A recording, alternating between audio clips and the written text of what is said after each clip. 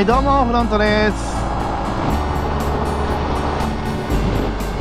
はい私は今ですね関越道、えー、大泉インターから乗りました、えー、練馬インターではなくてですね大泉インターで、えー、関越道乗るの初めてのことだったんでうーんと結構新鮮でしたね。な何が何が新鮮っていうかいつもは、うん、練馬インターから乗るんであの目白通りからまっすぐ合流するような形なんですよね。大泉インターって外環道を来るときにだいたいまっすぐ乗ったりするんですけどえ事故渋滞？で大泉インターってあの、外環に乗るときによく使うんであの、関越道を使うときは所沢インターを使うことが多いんですよね。だからちょっと新鮮でした。はい。でどうやら思ったより車多いですね。川越から鶴ヶ島までが自己渋滞ということで、えー、通過に40分とか書いてましたけど大丈夫かな？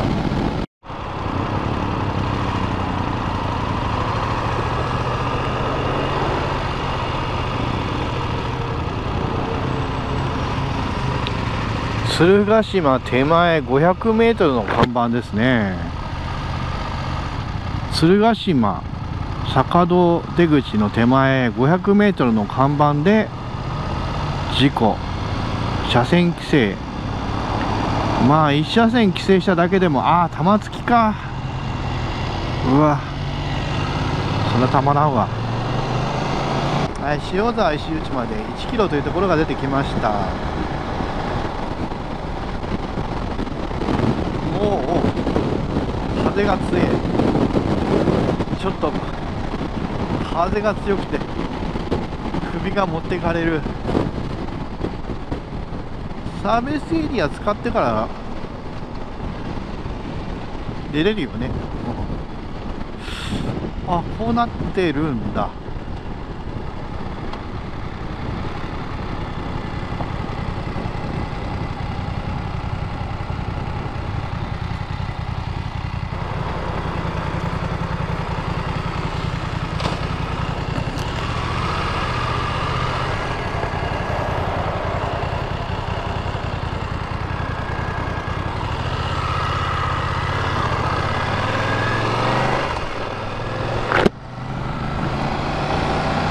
はい、えー、塩沢石内インター降りてですね国道17号を今走っております。うわーこっちもすごい気持ちいい道だな。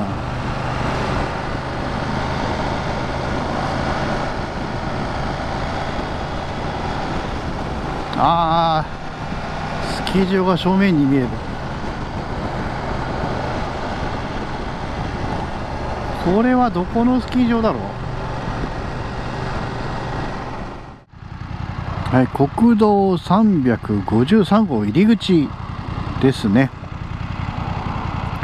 これは国道17号を起点とする、えー、地方国道ということになるんでしょうけども、えー、終点はどこなんだろうね。17、19に出るのかな。うん、ここはやっぱりあれですね、石内丸山のスキー場の近くということで、この辺ロッジとか民宿多いですね。スキー宿でやっぱりスキーをここから担いで丸山のどっか入り口が向こうの方にあるんでしょう。はいこのの、えー、増行くと野沢温泉。53キロ、まあ、2時間ぐらいで着くところですね。野沢温泉も。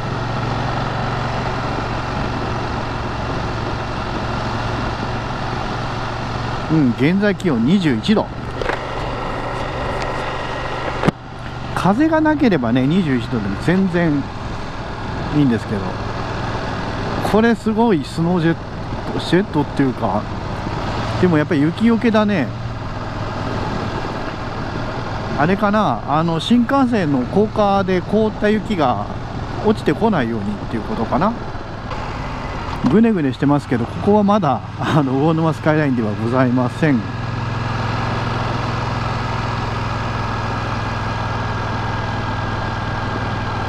国道ですけどね。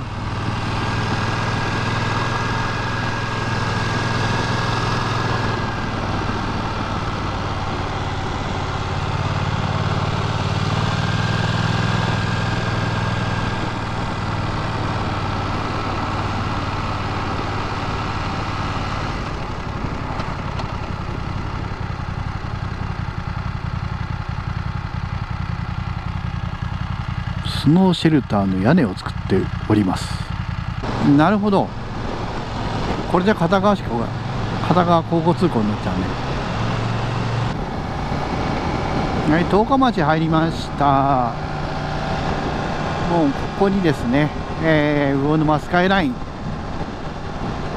県道560号ですね。それが、えー、魚沼スカイラインということらしいです。はいここがね12峠入り口。っていうのかな？え全面通行止めあらら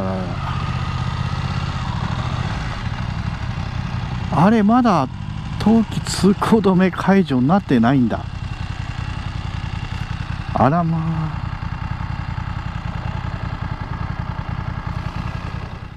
あれ？車。あれ通れんですかね？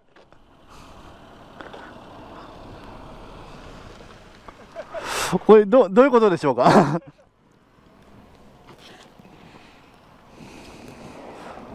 でも途中まででもしかしたらひっくり返してきたのかもしれないですけどね。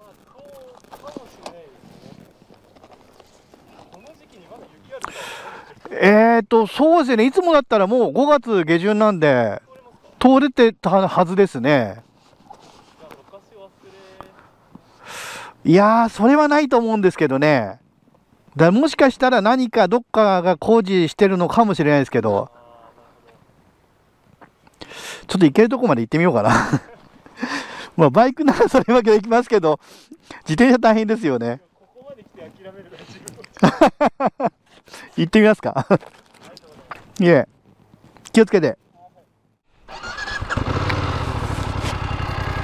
ょっと行けるところまで行ってみようかと思います。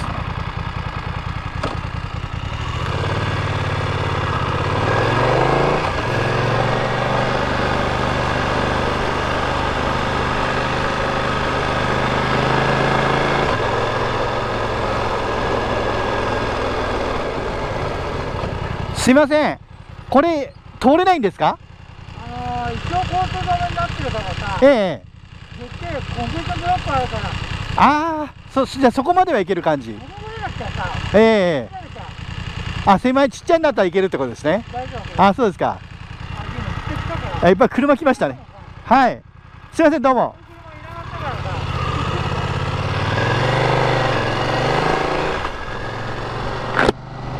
うんなんか対向車車が来てるからまだ行けそうな気がしないでもないですけどね。さっきお兄さん頑張ってますね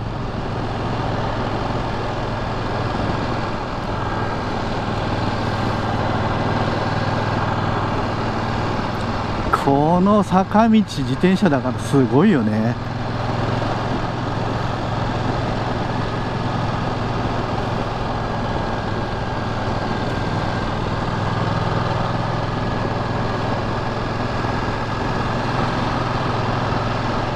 まあ魚沼スカイラインってまずここから入ってくるとね空なんか見えねえじゃねえかっていう。本当にスカイライン詐欺ってもう言われないか 言われかねないぐらい。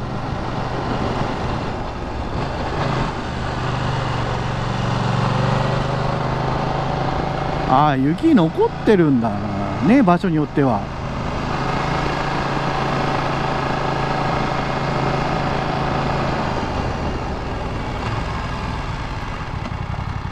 なるほど。これこそ完全にダメですね。アウチ。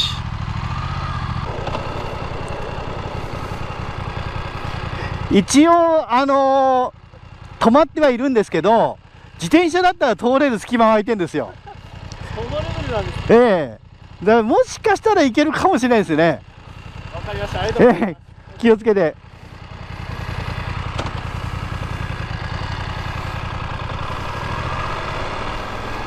みんな上がってくる。うん。残念ながら目的の土地がどうにも行けないんでねどうしようかな。次の目的地を設定しよう。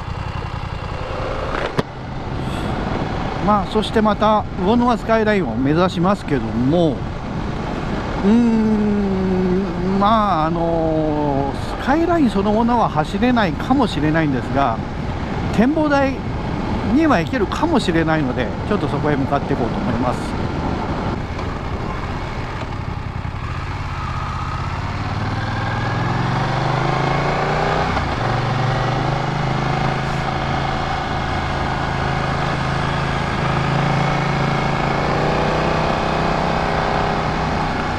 から狭いワワインディングね続くんですよ。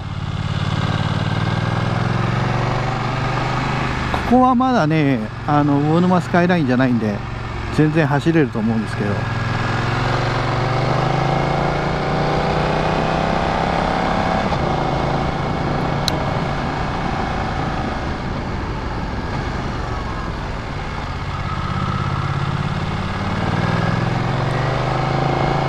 まあね車で通るとすれ違いが難しかったりとかあの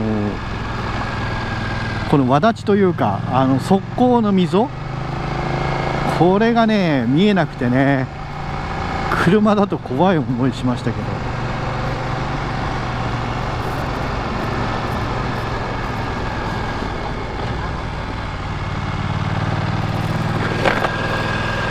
ただちょっとシールドが乱反射して見づらいから今。シールド上げました。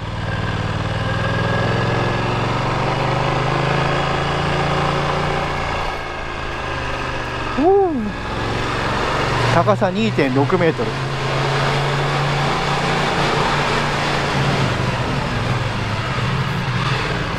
おおおおおおびっくりした 今リアが思いっきり滑りました。今8割ぐらいねこけると思った。ああこれだこれだ。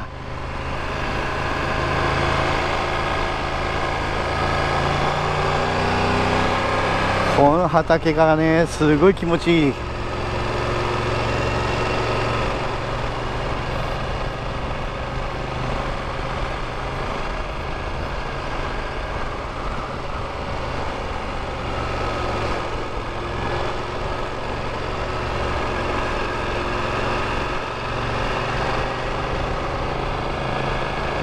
まあ確かに前に車で来た時はすごい狭くてね。なんかほんとこの道でいいんかいなと思ったことあったんだけど。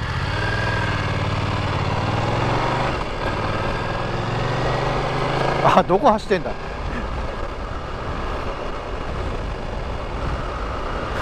センターライン詐欺に遭うとか思っ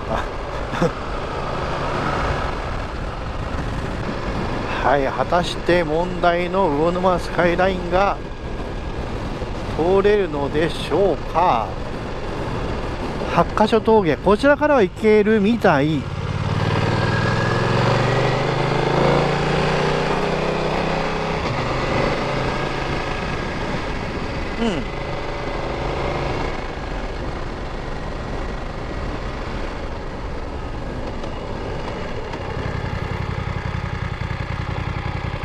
ここは通行止め書いてなかったな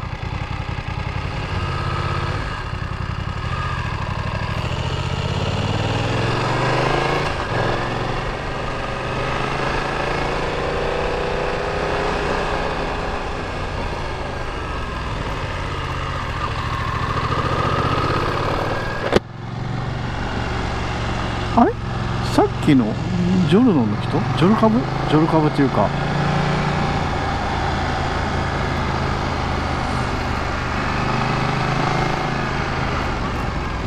もうこれ北側から登ると本当にすごいあのあ山綺麗。でもものすごい狭い道だからね。これが元有料道路だったと思うとちょっとなんか腹立たしい。あのお金払うのが腹立たしいぐらいな狭い道ですけど。これをね途中から登っていくと開けて急に開けてこういう感じで。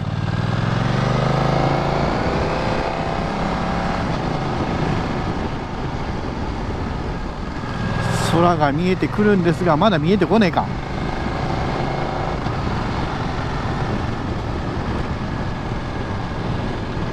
ちょっとだけセンターライン。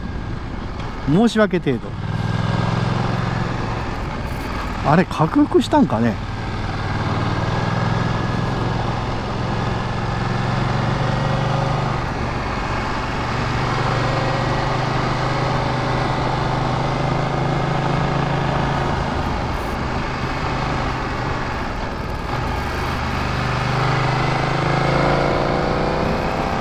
おお見えてきた。空が見えてきた。こういう感じになるとねスカイラインという言葉も似合ってくる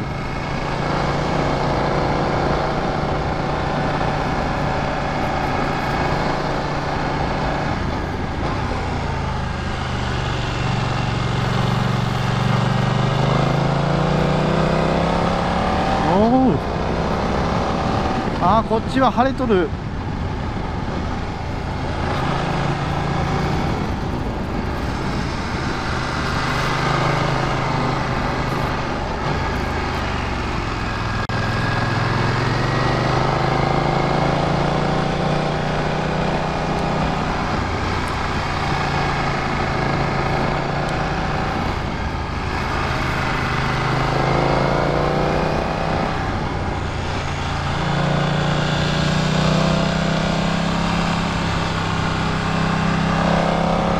あーやっぱここは気持ちいいのはバイクだな。車はやっぱり狭いもん。やっぱりバイクがいいわ。うん。うわ空。ここはよいしょ。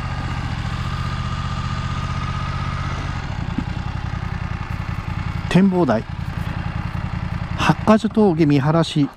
台うん。こんな感じです。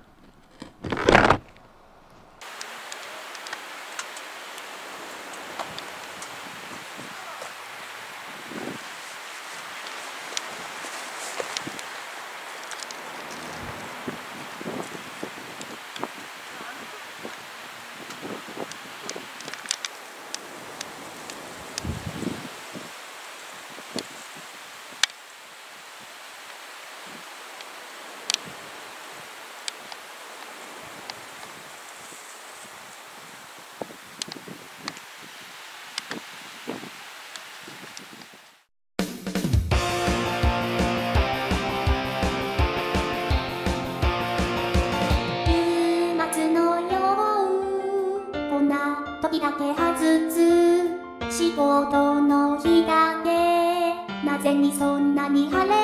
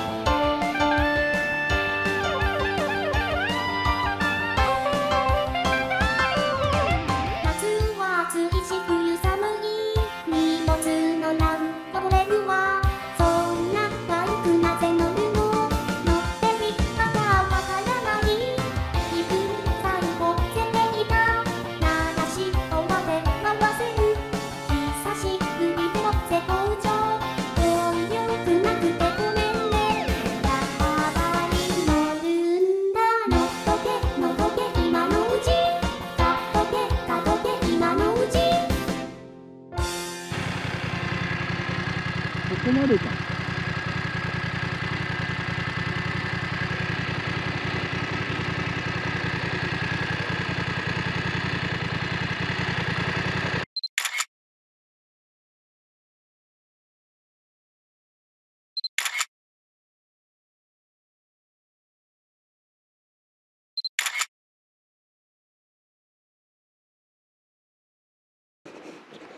で向こうを抜けると確か十日町東海十日町市。これ完全にチェーンだな。なあ。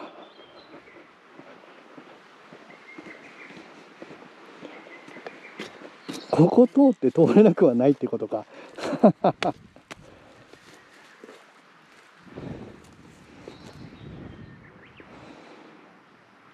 まあいいでしょ。うでこっちの方行くと十日町展望台っていうのがあるらしいんですけどね。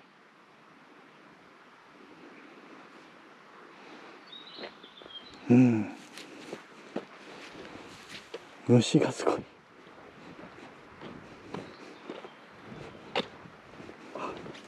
この狭い山道を下ってきますか？それしかないんだもんね。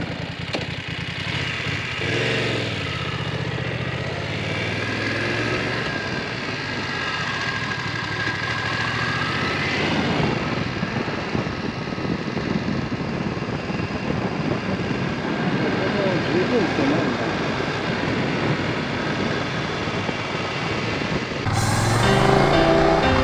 はい。というわけでですね、えー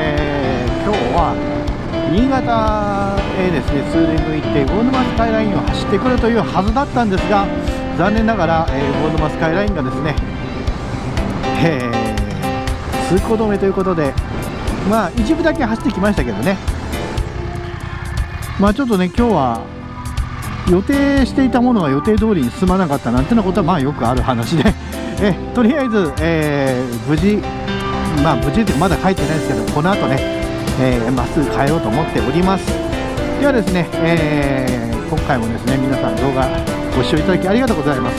また次回の動画でお会いしましょう。さようなら。